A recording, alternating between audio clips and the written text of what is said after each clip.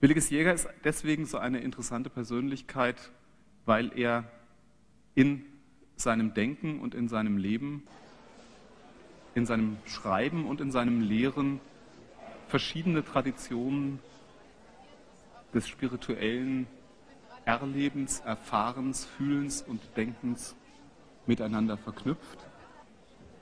Als Benediktiner und als Zen-Priester ist er einer derjenigen, der die westliche und die östliche Tradition gleichermaßen in sich vereinigt.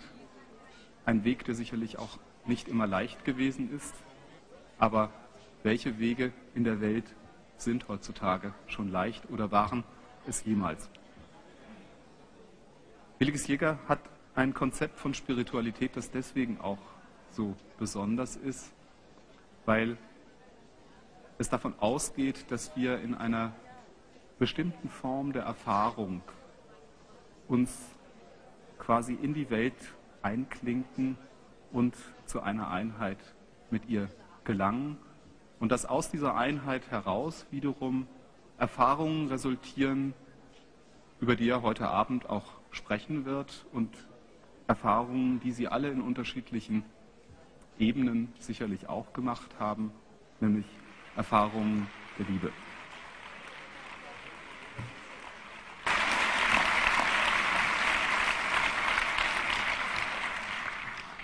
Herzlichen Dank für die Einführung. Sehr geehrte Damen und Herren, liebe Gefährtinnen und Gefährten auf dem spirituellen Weg. Es ist mir immer ein Anliegen, zuerst einmal eine Standortbestimmung zu geben für unsere Spezies. Wer sind wir? Wo stehen wir?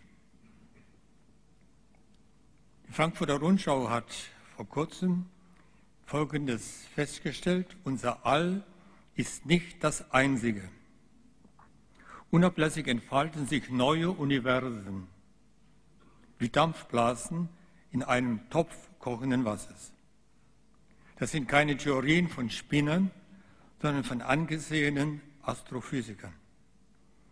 In solch einem parallelen Weltraum könnten völlig andere Naturgesetze gelten, mit anderer Chemie und skurrilen Lebewesen. Sogar die Zeit könnte eine andere Richtung einschlagen. Unser Universum soll 14 Milliarden Jahre existieren. 14 Milliarden Jahre gab es uns nicht. Eines Tages wird es uns wieder nicht geben und niemand wird uns vermissen. Das klingt so salopp, aber das stellt dann die Frage, woher kommen wir eigentlich? Wer sind wir eigentlich? Warum sind wir eigentlich da?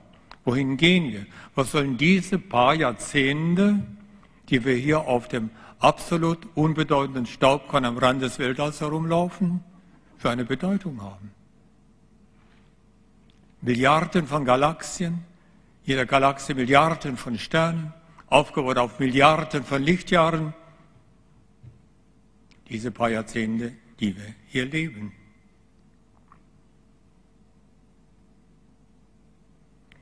Und eine andere Sache, die ich gerade gelesen habe, die mich ganz tief erschüttert hat.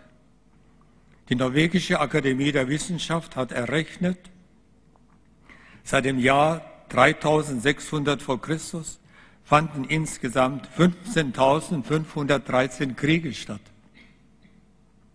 Da gab es, dabei gab es 3 Milliarden 64 Millionen Tote.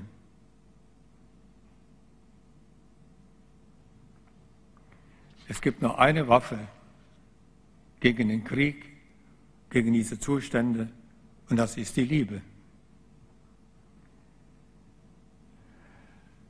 Über die Liebe ist viel geschrieben worden und wird immer noch viel geschrieben. Heute Abend geht es nicht um eine Abhandlung über die Liebe und auch keine Anweisungen, Liebe zu üben. Die Liebe, von der hier die Rede ist, meint eine Ebene der existenziellen Verbundenheit, auf der es kein Ich liebe dich und du liebst mich mehr gibt, sondern eine Erfahrung der Einheit, aus der niemand herausfallen kann, nicht einmal der Verbrecher, wohl seine Tat, aber nicht der Mensch. Diese Liebe, diese existenzielle Verbundenheit überschreitet die anthropologische Sicht der Welt und auch die Konfessionen. Sie verlässt die Egozentrik und drückt, und drückt das Hintergründige eine in die Erfahrung. Wo das Ich keine Welle des Ozeans, einer Welle des Ozeans gleicht, wo das Ich einer Welle des Ozeans gleicht, die kommt und wieder zurückfällt, ihre Bedeutung hat, darin liegt unsere Bedeutung, einmalig, einzigartig, einzigartig unverwechselbar, verbringen wir diese paar Jahrzehnte in diesem zeitlosen Universum. Wir können nicht herausfallen aus diesem Universum, nicht einmal der Feind. Es ist die Ebene einer mystischen Einheit, die alles verbindet.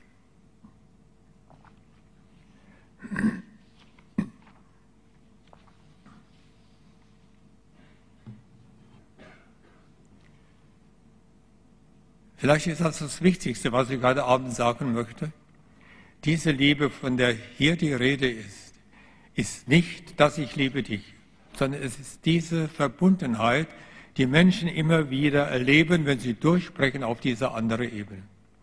Wir haben uns als Spezies entwickelt aus einem prähominiden Vorbewusstsein in ein magisches Bewusstsein, in ein mythisches Bewusstsein, in ein mentales Bewusstsein, mit dem wir jetzt da sind.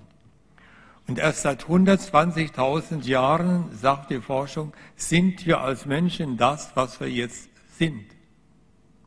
Ob der Homo pekinensis schon ein Mensch war und all die anderen Vorfahren, bezweifelt man heute, erst seit etwa 120.000 Jahren.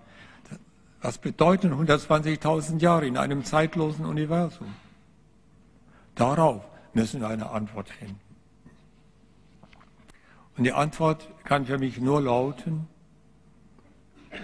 wir sind eine einmalige, einzigartige, unverwechselbare Manifestation dieses Urgrundes, dem wir den Namen Gott gegeben haben, den andere Leerheit nennen, den andere Urgrund nennen.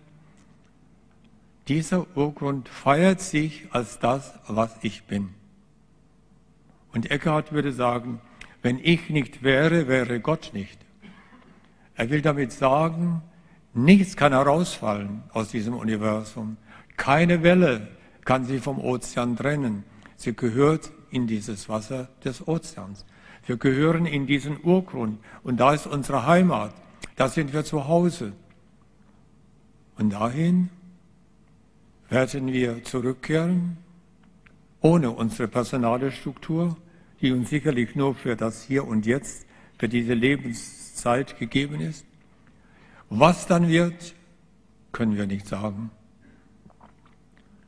Ich habe schon manche Nahtodeserfahrungen gehört. Ich habe selbst eine erleben dürfen, dass da etwas ist, was absolute Liebe bedeutet, absolutes Angenommen bedeutet, ein Willkommen kommt zurück und ich wäre gerne da mitgegangen, aber es wurde mir gesagt, nein, du musst warten, bis du gerufen wirst. Aber es erwartet uns ganz sicherlich etwas ganz anderes, ganz Neues, Unverwechselbares, von dem wir aber jetzt noch nicht wissen, wie es aussieht. Und sollte es so etwas geben wie eine Reinkarnation, dann wäre unsere Aufgabe wieder die gleiche, die wir jetzt haben, nämlich zu begreifen, wer wir eigentlich sind. Welcher Urgrund sich jetzt inkarniert in